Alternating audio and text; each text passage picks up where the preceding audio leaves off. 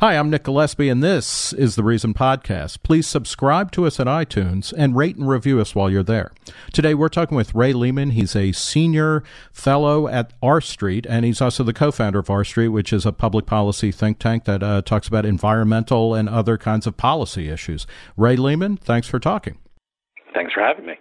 Okay, so we're talking about Hurricane Harvey, which has uh, slammed Houston and is actually taking on other parts of the uh, the Gulf Coast right now.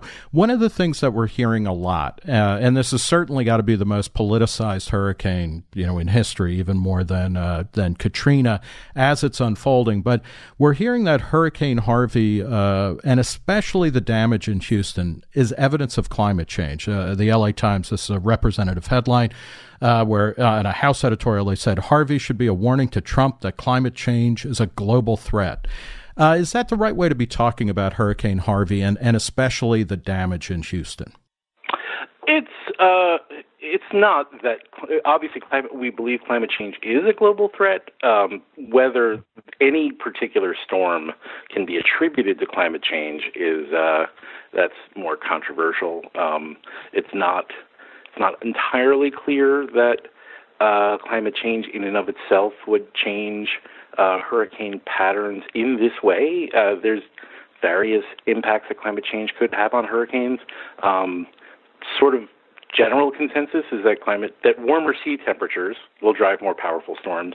Um, there's mixed opinion on whether they will cause more frequent storms, and there's pretty much consensus, at least in the Atlantic basin, that the long-term effects of climate change would actually be to make fewer storms make U.S. landfall because uh, the weight, the trade winds are going to be weakening. So fewer storms are going to get that northeast lift, take them off the Caribbean and into the United States. Unfortunately, that means they'll mostly be hitting Latin America, where they don't have the same resources we do to recover. Um, so what you can say, yeah, yeah, that's a problem. what you can say for sure is that that sea level rise is a threat. Uh, it, that has already happened, and uh, there are other causes of sea level rise beyond just climate change, um, all of which uh, contribute both in this storm and in in flood flood uh, risk more generally. What what are the other uh, uh causes of uh, sea level change? And and I and I'm I'm working at this from a layman's perspective, but I mean you uh, you like reason believes that you know climate change is happening, that temperatures are warming, and that human activity has at least something to do with that. Um, but then if it's not just you know the polar ice caps melting and whatnot, what is what's causing sea level rise? If you go down to southern Louisiana, it is uh, erosion, uh, soil erosion in general, um, which uh, or land, what you would call land subsidence, which is the land falling as much as the sea rising. Um, so that that's happening in a number of areas, including here. I live in Florida, uh, and where that, that's happening even without uh, change in the absolute level of the sea. Um, in Louisiana, actually, one of the major not major, but contributing causes is uh, the nutria rat uh, eating away at a bunch of uh, vegetation and that causing greater erosion. Um, so there there are other definitely other uh, causes besides just climate change that, that are relevant in these in these contexts. So, is there, you know, it and uh, to go back to this uh, question of the effects of climate change on the number and intensity of storms, is there yet? I mean, there's a lot of theory out there, but is there yet evidence that? Uh, because you also hear this that you know, get used to this. There are going to be more hurricanes. There are going to be more big storms, right. and they're going to be more intense. And you're saying the evidence on that is uh, a little bit mixed or ambivalent right now. Yeah, I mean, the truth is, we just came off a dozen years without a major uh, hurricane making landfall in the United States. Uh, there had not been one since 2005. Sandy was a very large storm, but it wasn't. Uh, it wasn't even a hurricane uh, when it made landfall. Um, it was uh, it was a tropical storm, just a, a physically enormous one. Um, you had Hurricane Ike, and that was a two, and last year you had a couple ones, but there hadn't been a three or larger is a major hurricane. Mm-hmm. Uh, but each big storm, uh, you know, and I guess whether it's a tropical storm or a hurricane and what category of hurricane varies, but it seems that each big storm sets damage records, and that's often kind mm-hmm. of you know that's that kind of gets equated with well the storms are more powerful they're more dangerous but is the damage record is that mostly because more people are living near places uh, like are living on the coasts or in areas that are at risk or you know so is it really a weather problem or is it a kind of a location and demographic problem is primarily a people problem I, I, as I mentioned, I live in Florida. It is a low-lying peninsula that jets out into the most hurricane-prone region in the world. If you go back to the World War II, Florida was the smallest, least populated state in the South, and it is now the third largest state in the country. Um, now, more than half the U.S. population now lives in coastal counties. That's uh, that was up about 45 percent over uh, the decades from like 1970 to, to 2010.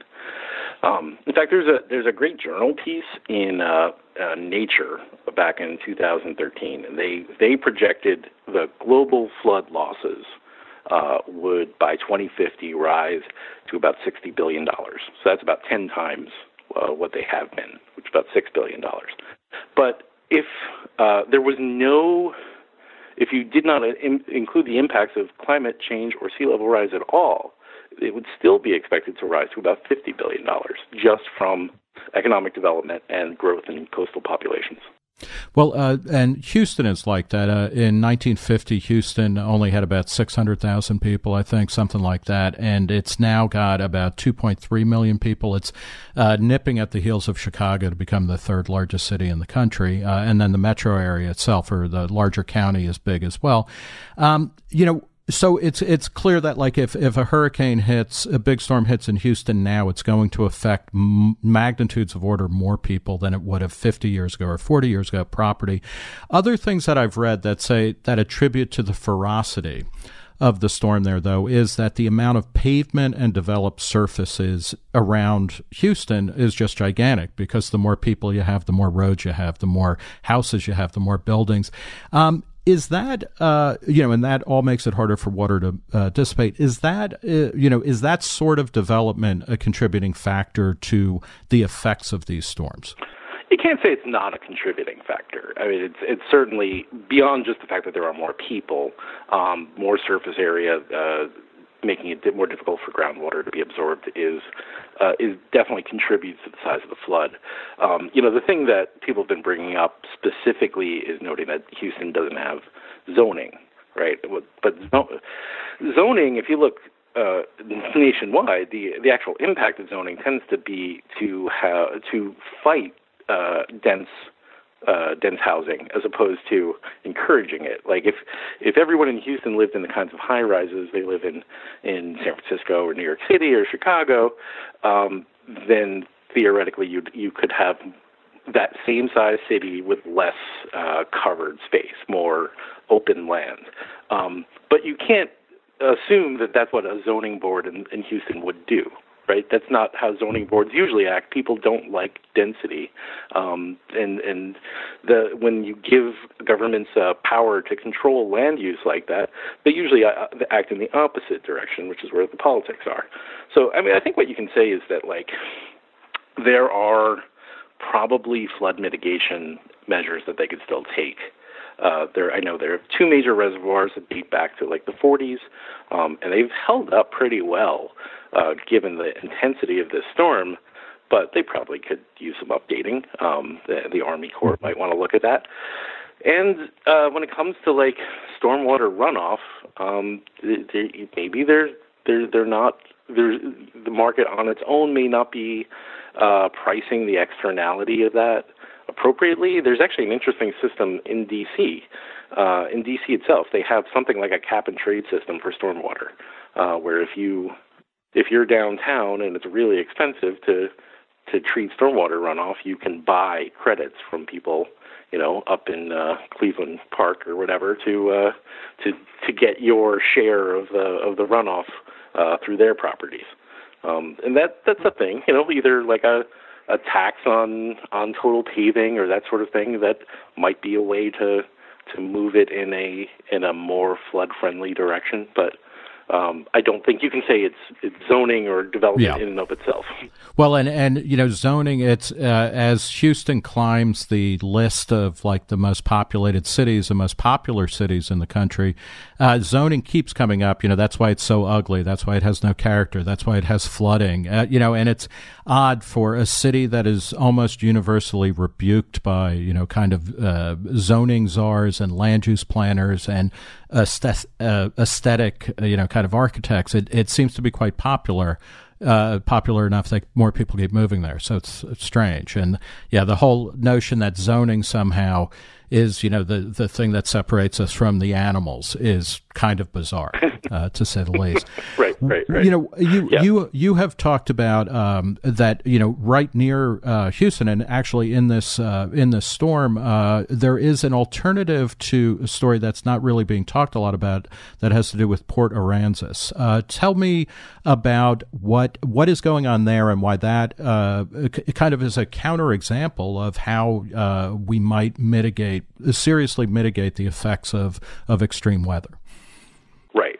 So one thing that's interesting about this is that uh, it's not actually the case that you, that you should conceive of the damage we're going to see from Harvey as primarily hurricane damage, because it it sat over Houston for all these days as a tropical storm or even a subtropical storm. So it, all the flooding was not done by a hurricane. It was done by just a a massive and unprecedented amount of water it was a hurricane when it landed. It was a Category Four. There's only been a few Category Fours we've ever had. Um, and it landed uh, near Port Aransas, which is just north of Corpus Christi, uh, and you certainly saw and damage Corpus, there. Corpus right? Christi is a few hours south down the uh, the Gulf of Right, Mexico yeah. coast from Yeah. uh, from Galveston and Houston. from Houston. Yeah. Yeah. from right, exactly. Um, you definitely saw damage there. We're gonna, you know, the early the insurance modeling firms that that do this kind of thing expect about two billion dollars in in wind damages there. Um, but for a Category Four storm hitting, you know, a coastal region, that's actually remarkably low. Um, and the reason it's remarkably low is there's not much development there. And there's a good reason there's not much development there, which is that area is part of what's called the Coastal Barrier Resources System, uh, which was set up in the early 80s. It was a Republican proposal. It came from John Chafee of Rhode Island. Uh, it was signed by President Reagan. And what the Coastal Barrier Resources Act does is any land within this zone of 273 million acres, if you put them together, they'd be like the third largest national park in the country. Um, any development in that area, you're free as a private citizen to invest your own money. What you can't get is federal subsidies. Uh, there's no federal highways. There's no federal public housing. You're not eligible for flood insurance in this zone of barrier islands and coastal wetlands uh, that you know as that were undeveloped as of the early 80s, um, and they've mostly stayed underdeveloped because people developers don't want to do it. They don't want to invest if they can't get the subsidies, uh, and that's pretty key to to our resilience from these sorts of storms because barrier islands serve uh, the purpose of being a buffer. Um, they absorb lot of water. They can flood. Uh, they can be underwater for, for some period of time. Uh, we saw in places where barrier islands are developed, uh, say the Jersey Shore in Hurricane Sandy, you know, uh, the difference between uh, they're right next to each other, but uh, Island Beach State Park and Seaside Heights. Um, Seaside Heights is is just north of Island Beach State Park. Island Beach State Park is as a is part of the Coastal Barrier Resources System. Uh, it serves its function of absorbing water. Uh, Seaside Heights is where Snooki goes, and uh, it it served its function of getting knocked to hell uh, once Sandy came through.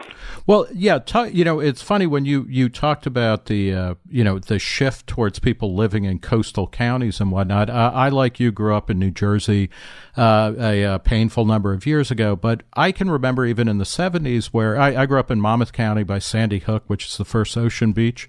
Uh, you know, it's it's about 30 miles or 35 miles north of Seaside Heights, and um, you know, I always felt kind of bad for, I mean, it was common. Like the people who live by the beach tended to have lower income jobs. They were blue collar workers. I mean, it was kind of a hard scrabble existence. And within, you know, 10, 20 years, all of a sudden, you know, everybody wanted to live in on the beach. And, and similar in California, even I lived in LA and Santa Monica uh, during the course of the late 60s and 70s went from a kind of sleepy working class town to a playpen for, uh, you know, Hollywood royalty. Is, you know, wh- how much did federal policy or state policies kind of change to make the, the kind of beach or the shore more attractive for people to live there? I mean, was it that they, you know, a bunch of policies went into place that helped soak up all of these high costs that people wouldn't really be able to, wouldn't be willing to pay out of pocket? So in 1968, we created the National Flood Insurance Program. Um, prior to that, uh, there really wasn't very much uh, insurance coverage for floods. Um, there, uh, there had been some market in like the late 19th century and early 20th century. Uh, there was a series of Mississippi River floods in like the 20s that kind of ended that. Um, and after that, it became very difficult to get insurance coverage for floods. Some of that is uh, things that are sort of accidents of the history of the insurance market in the United States. It's always been state regulated, um, and so historically, most insurance companies were local. Uh, we didn't have uh, the national companies that you do now um, back then. And so local companies would face extreme, unlike a fire, which is a fortuitous thing, uh, it tends to only affect one property at a time, maybe two or three if the major blaze, a flood can destroy an entire city. Um, so insurance companies didn't, who that were local, didn't want to be exposed like that. The reinsurance market, which is insurance for insurance companies, wasn't yet as developed as it is now, uh, and so you couldn't didn't have very much uh, private flood insurance. In the 60s, we created the National Flood Insurance Program, uh, which extended uh, underpriced flood insurance uh, offered by the federal government to pretty much everyone. It's any community that wanted to participate uh, and met certain basic standards. It, the original idea was that it was going to encourage communities to invest in flood mitigation. I think it did a little bit of that early on, uh, but it has not really served that purpose in the long run. It served the purpose of making it possible to live in places people never lived before, because now you have a mechanism to to uh, bail you out once things go wrong. Uh, the state of Florida, for sure, was built on the National Flood Insurance Program. It's about one third of uh, National Flood Insurance Program policies are here in Florida. Wow. And uh, you know, is there any uh, is is there any movement to restrict that um, or or to peel it back? I mean, it sounds like farm subsidies. Uh, in a way where you know, and it, it's obviously it's not the only reason people flock to the water. Uh, you know, it's also true that you know construction methods get better. Yeah, you know, people like the water and the weather and all of that, but it's but it's a contributing factor, and it's certainly one that's under our control. Um, is there any sense that you know this these are policies that can't stand, and why the hell are people who live in either parched areas of the country or places not prone to flooding are bailing out, you know, uh, people who tend to be wealthier living on Long Island, living on the Jersey Shore, living in Florida? So back in 2012, we had a bill uh, called the Bigger Waters Flood Insurance Reform Act um, that passed and was signed by President Obama. And Biggert-Waters took uh, those policies that were not paying appropriate rates and put them on a path to gradually see their rates increase. Um, then, just about immediately after that bill passed, you started getting uh, scare stories um, that were distributed uh, with the help of uh, FEMA by not by not responding to them. Uh, serve the interest of home builders and realtors uh, who did not like that this was going to have an impact on housing markets. Um, and people uh, were told that their rates might increase to twenty thousand, thirty thousand, forty thousand dollars. Uh, there was no evidence of this. Um, the, just none at all. But FEMA did not really do anything to uh, to provide clarity. Um, and in the middle of that hysteria, we then got a second bill in 2014 uh, called the Grimm-Waters Act, which is, I think, appropriately named. Um, also appropriate that Maxine Waters, who uh, co-sponsored the original bill, was then on the second bill that largely repealed uh, the Biggert-Waters Act, or at least it, it slowed it down enormously. Um, and that was unfortunate. Now, it's it's still the case that over the long term, these properties are seeing rate increases. They're pretty modest, and we will get to a point eventually where they're paying what they should. Um, and there's also encouraging signs that we're getting a private flood insurance market. It's it's still new. It's not very large. It's not yet enough to take over completely, but it's building, and we'll get there. Um, there is legislation right now. You know, the flood insurance program's authorization expires at the end of September. There's legislation right now that passed uh, through the House Financial Services Committee a couple months ago that would help uh, with some of the some of the key questions on private flood insurance, like if you have a mortgage, does the private flood insurance count? What kind of private flood insurance do you need uh, that would be equivalent to the NFIP? There's also rules like currently the NFIP policies are sold by private insurance agents um, who are usually affiliated with with insurance companies.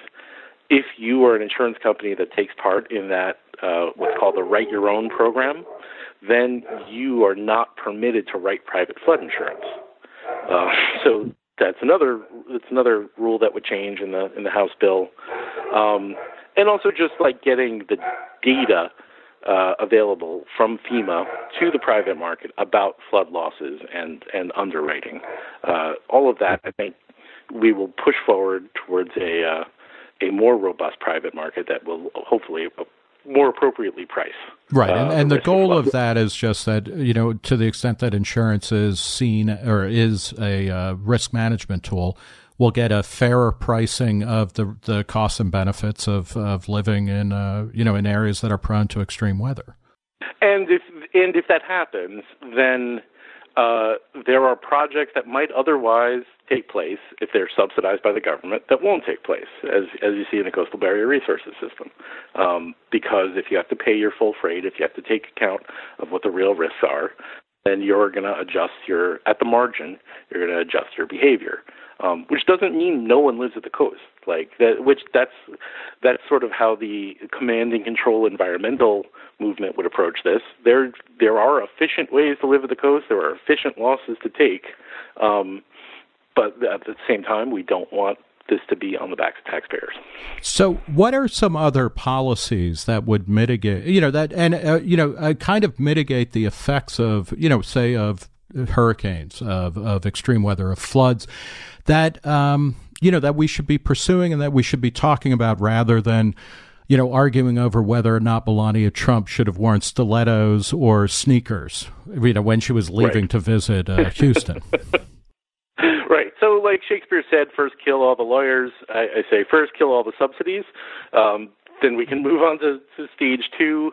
Um, there, I think you know, uh, libertarians will differ on the degree to which they think a lot of things are government responsibilities. I'm more or less okay with things like levees and other public construction. I'd like to see more things done at the local level uh, where, where it can be more responsive, but I think that those are appropriate infrastructure projects to help protect communities. Uh, I think you can have some degree of land use planning where things like, uh, for instance, if you're going to if, if you have a repetitive loss property and the government's going to buy it out um, and move this person somewhere else, say, okay, we, you've you've flooded too much, you or you've suffered whatever sort of disaster too frequently, we're going to buy you out and move you somewhere else then maybe you don't allow people to build there anymore once that money has been spent. Otherwise, you're sort of creating, yeah, you're creating an incentive to just keep keep moving in and then taking the buyout. Is there um, is does that happen frequently? Uh, I seem to re- recall uh, somewhat dimly uh, stories about like whole towns on the Mississippi kind of getting bought out or people being relocated. There, there are two programs within FEMA. One is within the flood insurance program, and one is uh, just disaster mitigation in general that do have authority to do buyouts. Um, in the National Flood Insurance Program, it was back in 2004, they uh, Congress passed this bill um, Bunning. Mm, I can't even remember the names of the. It was Jim Bunning and and uh, uh, Bloom and Earl Blumenauer were two of the sponsors. Um, that you were. It was the, the intent was that if you had three losses, uh, then you would be per, you, you would be bought out. Um, you would either have to raise your home or be bought out. Uh, but I don't think they ever funded it. Uh, and so, lacking any funding, it never really happened. There, so there's a there's a limited number of buyouts that happen through FEMA, but it's not not terribly much. What about on a, a, you know, and I'm thinking three, uh, and especially Jim Bunning, a, a, Hall of Fame baseball pitcher. You would think it'd be three strikes and you're out, like you get nothing. You uh, you you you uh, you are now officially owned by the government or something. Of That's course, you, that that was the name of the bill. oh, I see. Three strikes, three and then, strikes, and you are out of the National Flood Insurance Program. I thought it was like three strikes, and we bring uh, we bring out the tee, and you just keep hitting until you get right, uh, right. until you get on base. But um, right, exactly. what uh, what about on a global level? Um, what are what are your preferred ways to deal with uh, climate change? Because you know, and it seems to me there are within the broader libertarian community or the the broadly defined uh, libertarian community, there are some people who still say, you know, what global warming does isn't happening, or you know, it happens all the time, and we have nothing to do with it, and so you know, why talk about it at all? Most people I know who are libertarians say, you know what, climate change is happening, it's observable, uh, human activity is contributing to it. Uh, and then, you know, what do you do next? And one of the things that I find very attractive is the idea that, well, you know, to the extent if, I mean, if we go with like a massive pro- global program that slows down economic innovation and economic activity, suddenly instead of living in South Florida, we're living in Bangladesh, and we have less, fewer resources to kind of uh, be resilient and to build better buildings uh, and come back from weather events. Is that kind of your approach to global warming, or what are the ways that we should deal with uh, climate change, uh, you know, as a planet? What we certainly agree with is we think uh, the greatest uh, response to climate change is to be wealthy um, and to have the resources to be able to deal with the effects, which are still largely unknown. Right, you you can't can't know what you're going to need to do, but having having more money always helps. Uh, we also uh, we're not. This is not a secret. We support a, a carbon tax, uh, a one that does not in any way raise taxes. In fact, we, we have proposed replacing the corporate income tax entirely with a carbon tax. Um, carbon tax, we will fully admit, does not actually reverse global warming. Uh, it may help at the margin, um, but it is unlikely to to mean that we have no uh, effects. We're going to have effects that we're going to have to deal with. Uh, but if you do it in the right way, if you deregulate, um, you you use this to get rid of the existing regulatory structure and to zero out uh, a tax that is more destructive to capital. We think that you can still grow and still be prosperous, and uh, at the margin, uh, you know, control some of the worst effects. So, uh, in in your uh, in R Street's kind of plan for uh, slowing carbon emissions, it would be, I mean, you tax everybody who is emitting carbon. Uh, you raise the price of carbon so you get less of it. That's the plan. Um, and then what? But you do you earmark that? Ta- I mean, the, the purpose of the tax then is to shut down carbon emissions or to lower that in the uh, in the hope or in the idea that it will, on some level, help mitigate, uh, you know, uh, climate change. Um, what what happens to that money? Does that just go into a general revenue stream, um, or does it get earmarked, or does it you know what what happens? There's a lot of proposals um, that have come forward by a lot of different people. You know, Al Gore wants to use it to uh, offset the payroll tax. There's others who come up with uh, what they call a tax and dividend system, which essentially means you you apply the tax and then you give it back to people, um, presumably based on their income. We we have proposed using it to replace the corporate income tax, uh, and what we think is an advantage of that is Replacing the corporate income tax actually raises some money in and of itself. Uh, if you just repealed it because of how inefficient it is. Um, and so that helps take care of some of the problem because if you raise it, if you got rid of the corporate income tax, then those uh, a good portion of that income would instead be earned by corporate CEOs uh, or shareholders uh, through dividends and and through capital gains, and you could capture the money that way at the individual level. Um, think it's always going to be the case that corporations will have more lobbying power than people. And so, anytime you create a new corporate tax, anytime you try tax reform, it does not take very long for that to get mucked up with all sorts of exemptions and, and special treatment. Get rid of the corporate tax. Use this tax instead. How do you uh, how do you levy a carbon tax? Like how do you how do you identify the how do you identify the sources and then say okay, you owe you know this much, you owe that much. Right. So the generally you want to do it as close to the source as possible at the at the level of either say the refiner if you're talking about motor fuels or at the level of you know the generator um, if you're talking about electricity. Um, there are other sources of carbon, other sources of greenhouse gases. Smarter people than I could tell you the most efficient way to to, to deal with them, but the, that's the broad strokes of it. But essentially, it would be like putting a meter on devices that produce carbon. So you know, it's kind of like an electric meter and elect, uh, you know, something or a gas meter, or something like that. Right. And you want to you want it you want it as far from the consumer as possible. You don't want it to be like at the pump the way a gas tax is, um, because you're the the closer the further down the stream it is. First of all, the the more chances that it's going to get multiplied um, and also that you change behavior in ways that are inefficient.